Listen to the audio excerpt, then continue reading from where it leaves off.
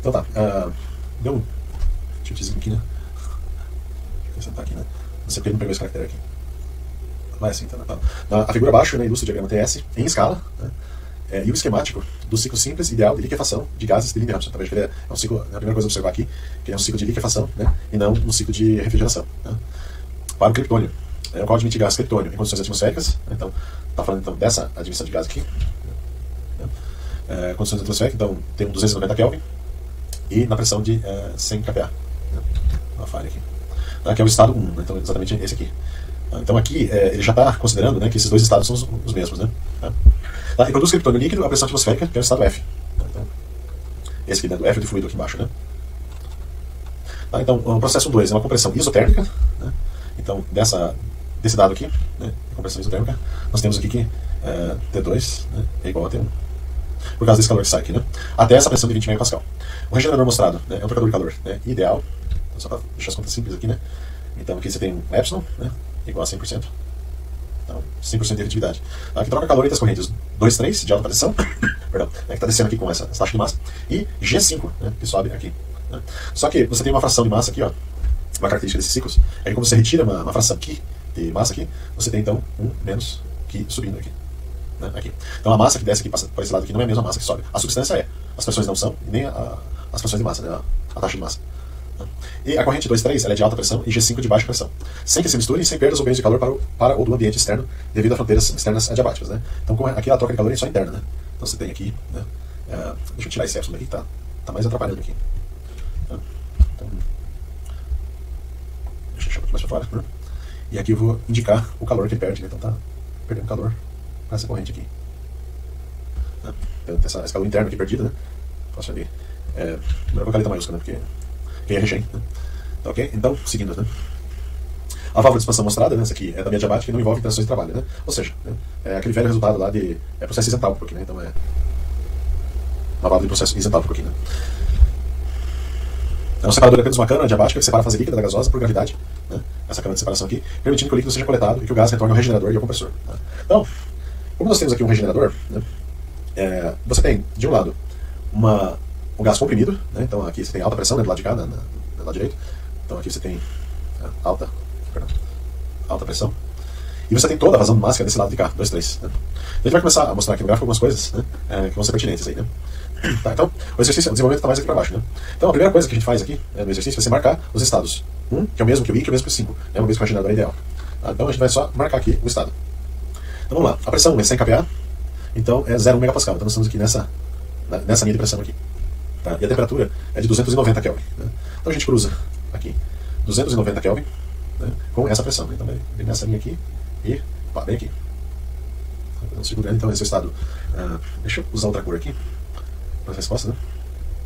Para ficar mais visível. Tá? Então esse aqui é o estado 1, uh, que é igual, fazer aqui, é, o estado I e o estado 5. Tá? Os três estados são coincidentes aqui.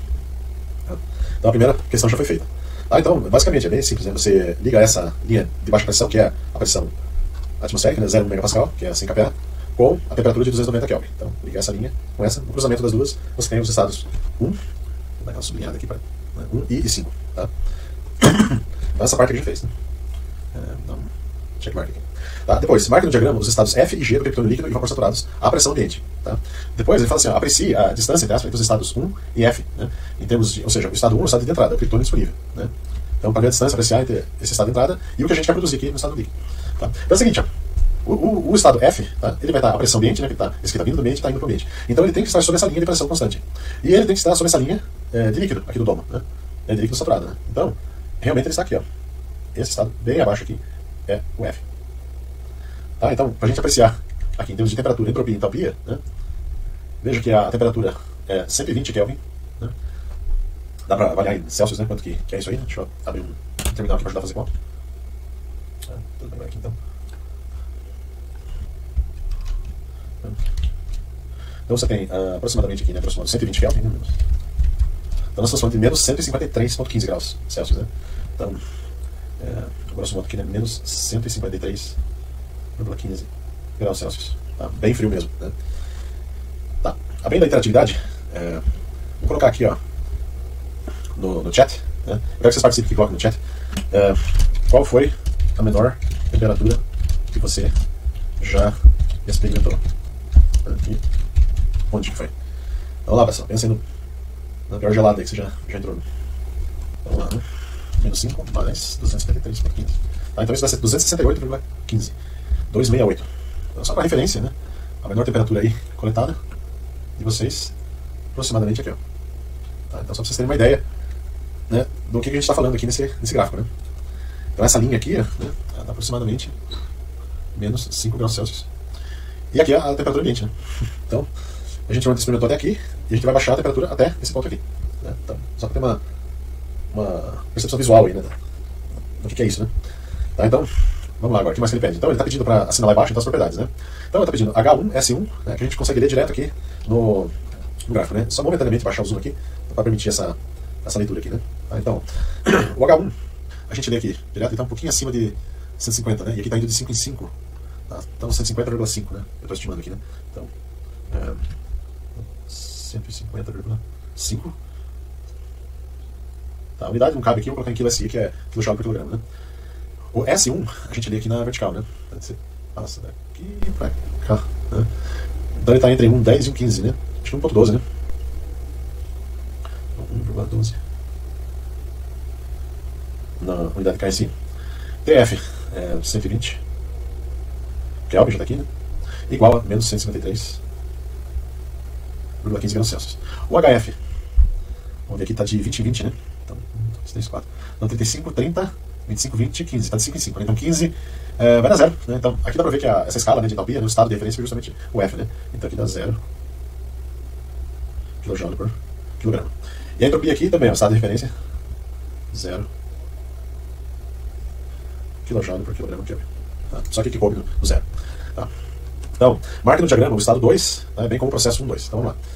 Então, o estado 2, é, essa linha aqui está muito. Vou deixar ela mais fininha e com uma cor mais tênue aqui para não atrapalhar tanto assim. Né, que a, a temperatura mais. menor temperatura, né? A galera aí. Tá, então agora vamos marcar o estado 2 aqui. Tá? Bom, o que é o estado 2? Nós temos a pressão 2 de 20 MPa, né? e, e ele é uma compressão isotérmica. Né? Então a gente tem aqui exatamente, vai usar esse caso aqui, né? T2,1. Então a mesma temperatura da entrada, só que nessa pressão aqui de 20 MPa. Você já veio, veio bem para cá, né? Em cima dessa linha aqui. Então esse aqui é o estado 2. Aí a gente já pode marcar o processo aqui também, né? Então uma compressão com retirada de calor. Tá, então esse aqui é o processo 1, 2. Essa linha aqui eu também vou dar uma. Quero só isso. Fazer assim, assim.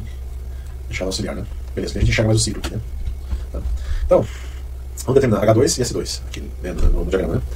Então vamos lá. O H2 entra em cima dessa linha, né? A gente traz até aqui. Então 95, 105, né? Então, 105. Eu jogo por grama. E o S2 está entre 45 e 50, né? Então vai dar aqui 0,48, né? 0,48 ah, quilo assim. Ok, tá. Não, legal de colocar no diagrama, a gente enxerga né, o, o, processo e também já pega as propriedades sem muita dor aí, né? Tá. Aí, o processo de compressão 1, 2 é idealizado? Vamos lá. Responde aí, galera. É, vou fazer. A pergunta é aquela, né? O processo 1, 2 é idealizado?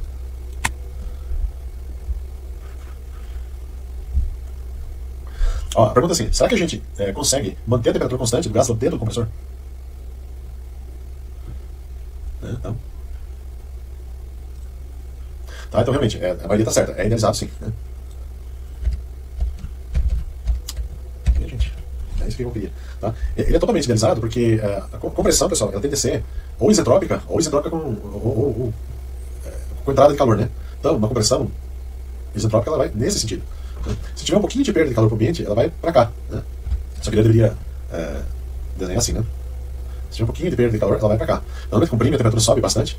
Depois, na prática, o que acontece é o seguinte: é, comprime, resfria, comprime no outro estágio, resfria, comprime, resfria. Então, ele vai ter que ficar fazendo esse zigue até chegar aqui. Tá? Então, sim, ele é extremamente idealizado esse processo. Né? Então, ele é bastante idealizado.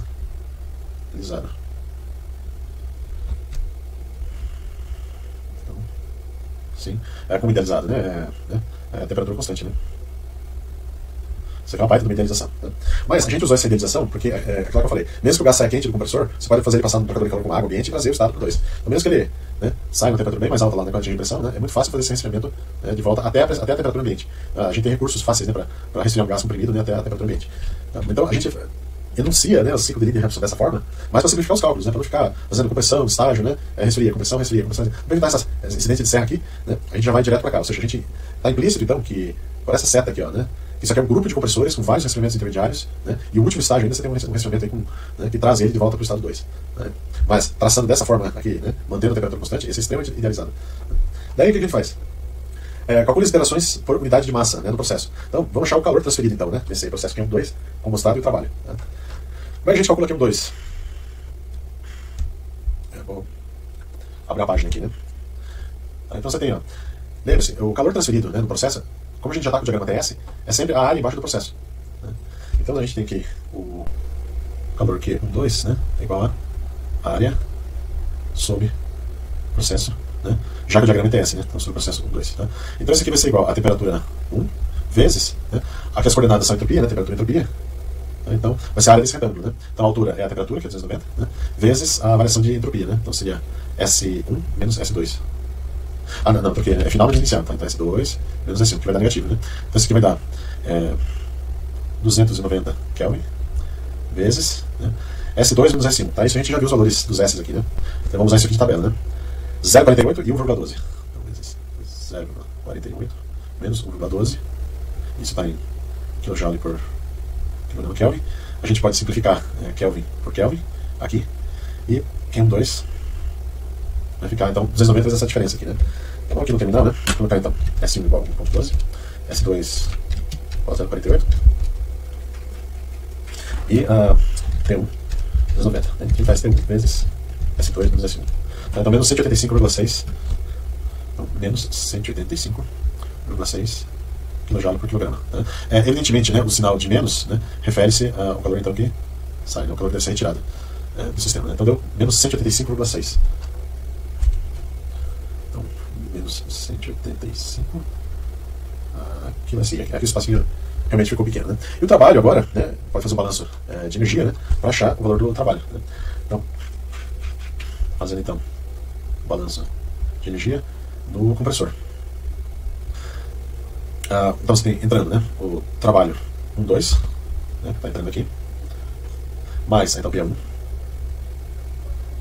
é igual ao que está saindo em permanente. Né. Então, saindo uh, o calor 1, 2 mais H2. Tá? Só que esse calor aqui a gente sabe que ele está saindo. Tá? Então ele, ele vai em magnitude aqui. Tá?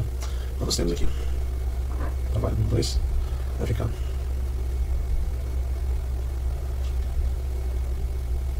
isso aqui, H2 menos H1 mais Q12. Então, uh, como esse Q2 é negativo, tá, eu vou colocar menos Q2. Tá, agora sim, deu 140.1. Tá entendendo? que aqui eu já sei que é desse lado que está saindo, né? Então esse calor que sai né, é a magnitude, né? Então 185,6. Tá, então aqui, chegou aqui, trabalho de 2 igual a 140,1 kJ por quilograma. Então vamos responder aqui na folha, né? 140 nome. Tá, ok. O que mais agora? Escreva um balanço de energia para um sistema que corta o esquemático nos estados 5, 2 e F, utilizando as frações de vazão máxima do esquemático. Tá, então, vamos lá, 5, 2 e F. Então, 5 está aqui, 2 está aqui e o F está aqui embaixo. Né? É, por clareza, só vou deletar essa, essa anotação aqui. Tá, então, eu vou passar aqui um, um retângulo, né? Para delimitar esse sistema, então. Então, eu tenho que cortar em 5, 2 e F. Tá? Exatamente nesses três estados aqui. Ó. Tá? Então, vamos escrever um balanço de energia para esse sistema aqui. Então, 5, 2 e F. Está tá em regime permanente, né? Então, vou escrever aqui depois eu abaixo lá, né? Então, nós temos, uh, entrando, né? Nós temos é, M ponto, ainda estamos retângulo, vezes H2, né? Essa entrada aqui. Aqui, abaixo, você tem é, saindo, né? E aqui no 5 tem saindo. Então eu vou colocar. O regenerador é diabático, a válvula é diabática e o separador são diabáticos. Então aqui não tem mais nenhuma interação. Não tem nenhum trabalho sendo feito aqui. Então vai direto para cá. Né? Vai ser M ponto vezes a fração Q, aqui, vezes HF, né? mais, né, saindo por aqui, e por aqui sai M ponto, a fração 1 menos Q, vezes o H5. Tá? Então, essa fórmula toda eu posso é, dividir por M ponto, e vai ficar simplesmente H2 igual a Ki HF mais 1 menos Ki H5. Tá, então é esse balanço aqui que a gente escreve aqui embaixo, Ctrl X, Ctrl V. Então é esse aqui.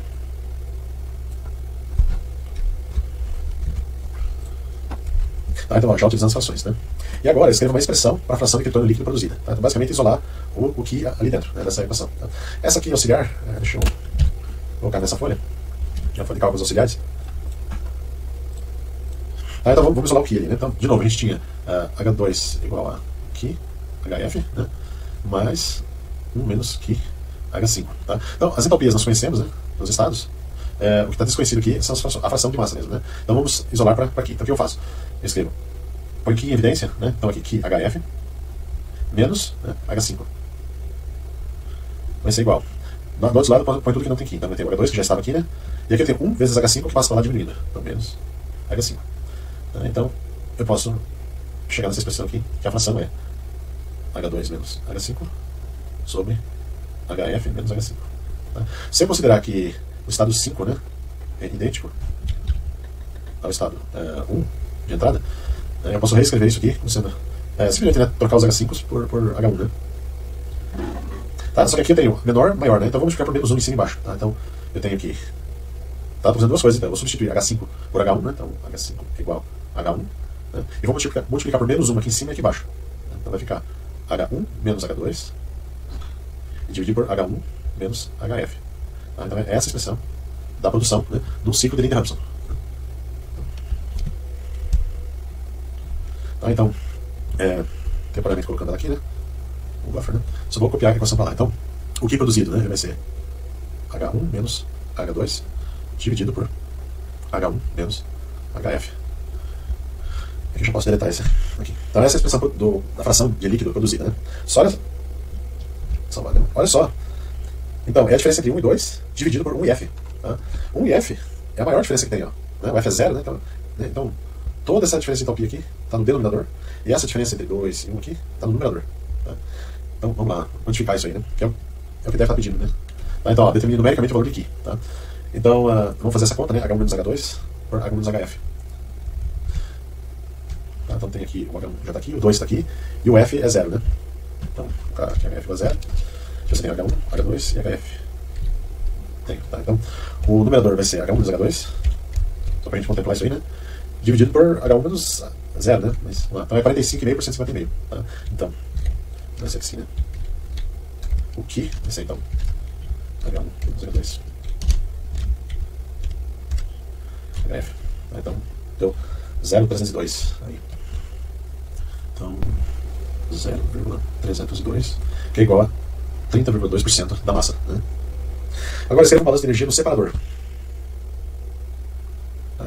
No separador aqui, né, a gente tem.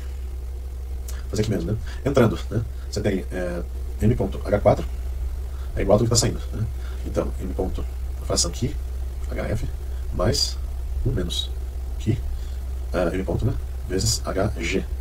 Tá? Então, dividindo tudo por M. Ponto, fica H4 é igual que HF mais 1 menos que HG. Então, essa é a balança de massa aqui para o separador. Ah, perdão, balança de energia. Né? Tá? Então, é, eu já comentei, tá? aqui vai envolver título, resolva o título do estado 4. Né? O que é a entalpia do 4? Né? Sabendo que ali é uma mistura de líquido e vapor saturado, ele não é a entalpia uh, do líquido, mas o título vezes a entalpia de transformação, né? que é a entalpia do vapor menos a entalpia do líquido.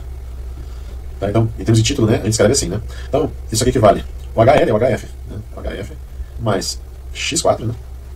vezes HG menos HF. Tá? E isso aqui é igual né, ao H4. E o H4 também é igual a isso aqui. Então isso aqui é igual a, a fração Q vezes HF mais 1 menos Q uh, HG. Desse lado aqui, a gente tem HF que multiplica 1 menos x4. Né, desse lado aqui é 1, que é o coeficiente desse HF, menos x4, né, mais x4 HG.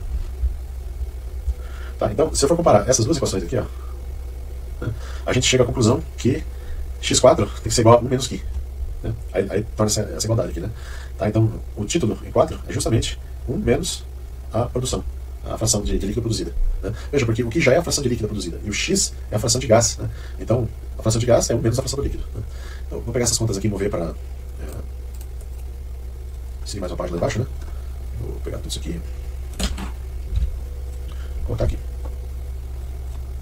Então, então, moral da história aqui é que balança de energia do separador. Uh, essa expressão aqui, né?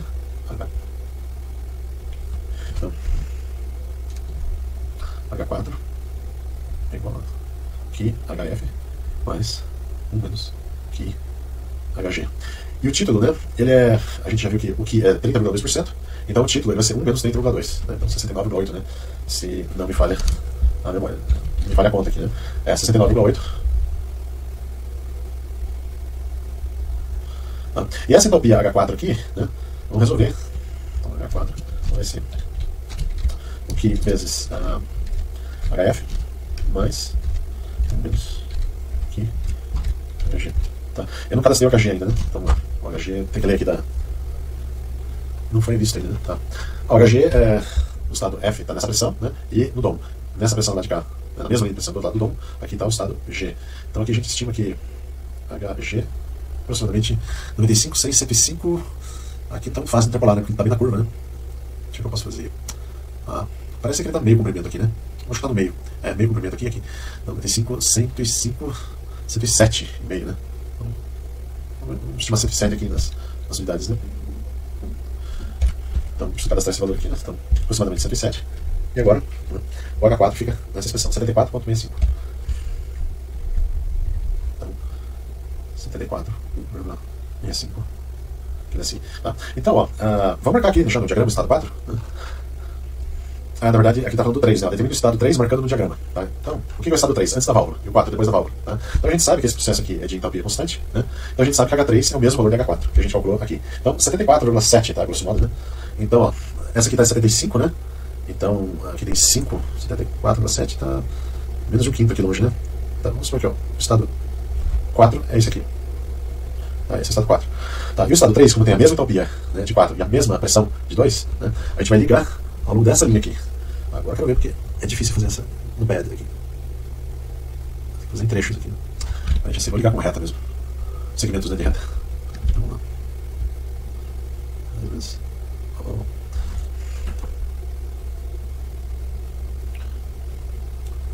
Eu quero que pareça curva, né? Vou fazer vários segmentinhos aqui. Tá com o snap ligado aqui. Ah, grid snap, tirei. Então, deixa eu fazer isso aqui. Aqui é melhor fazer com o mouse mesmo.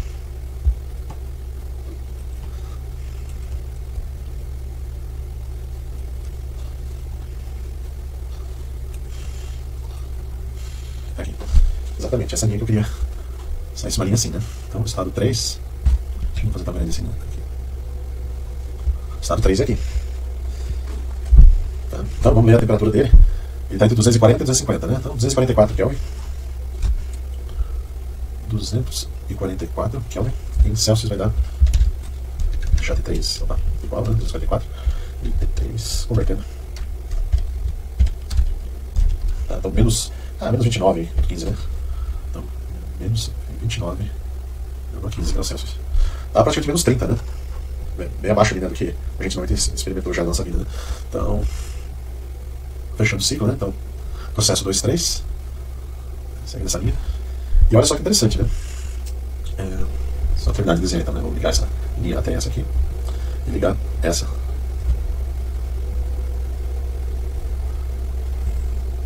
Fechei o ciclo aqui, né? Tá, então, esse que está no estado aqui verde, né, em cima do diagrama, é o ciclo no diagrama TS. Para vocês verem aqui o, né, o aparato e o, e o, ciclo ao mesmo tempo. Tá? Então, o que acontece? Ah, você tem aqui aquela compressão a temperatura constante, claro que isso é idealizado, né? Na prática seria vários estágios de compressão com resfriamentos intermediários. Né? Uma vez que chegasse na pressão alta, né, passa no trocador de calor, sei lá, com água, né, uma coisa, e faz chegar aqui nesse estado 2. Tá? Agora, olha só, que interessante. O, a corrente que está descendo aqui de 2 para 3, ela sofre uma pequena variação de temperatura. Tá? Mas veja quantas linhas de entalpia ela cruza aqui, ó. Né? Uma, não, é uma, duas, três, quatro, cinco, seis linhas de entalpia aqui, né? 6 vezes 5, né? Aqui dá 5 em 5, né? Ao passo que a corrente aqui retorna, né? Ela, ela retorna aqui de G, ela sai daqui e vem para cá. Né? Ela cruza aqui 1, 2, 3, 4, 5, 6, 7, 8 e meia, né? Linhas de entropia. Por que, que dá essa diferença? Justamente porque a massa que está fluindo aqui, né, em alta pressão, é 100% da massa.